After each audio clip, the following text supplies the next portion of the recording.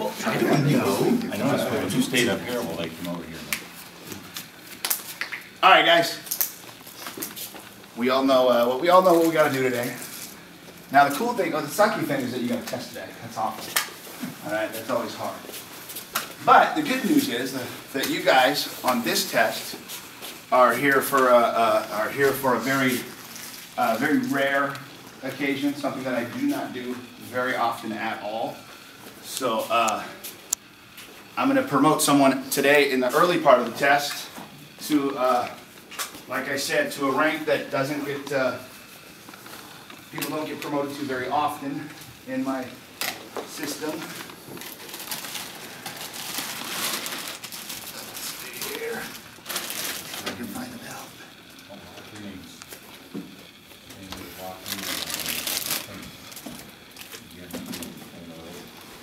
As you guys know, third degree black belt is your last test, physical test. Maybe you guys don't know that. When you get a fourth degree black belt, that is because you have been in this in this in the uh, in the arts for at least 15 years or more. Uh, you've you know you've dedicated a lot of your life to it. You've given back a lot to the art.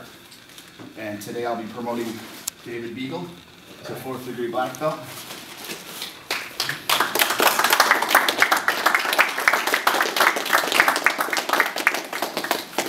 Your belt.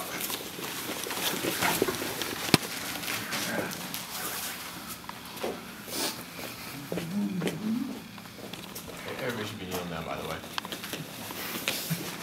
Not a big deal or anything. You either have to earn it or wear out your old belt. So I'm taking back, so.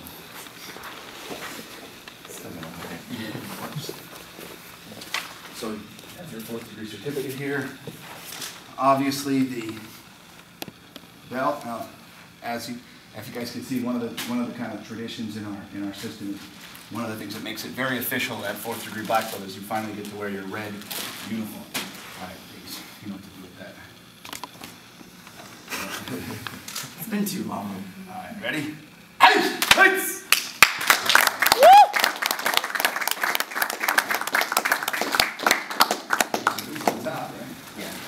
I wish you were so mad would have been black. That's a Very great good coordinated today. Get used to this because you're probably sleeping at the next two weeks. I'll take it to Europe with me. It'll look There you go.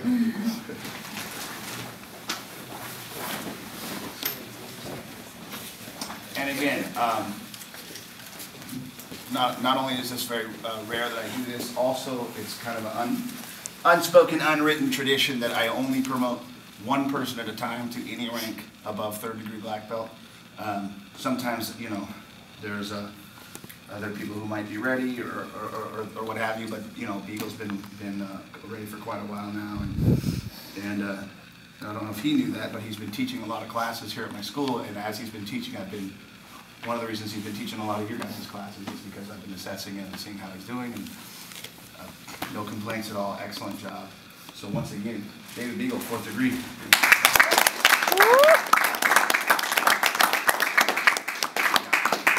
When, how old were you when I first started teaching? Eight? Eight. Probably twenty-four. He's, he's gonna be twenty-four, he was eight years old when I first started teaching.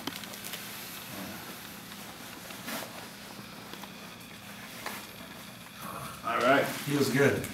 Yeah. everybody on your feet. Something about it, Dave? Excellent job, Dave. Very nice job, man. I'm gonna put your certificate over here, guys. your pants over here.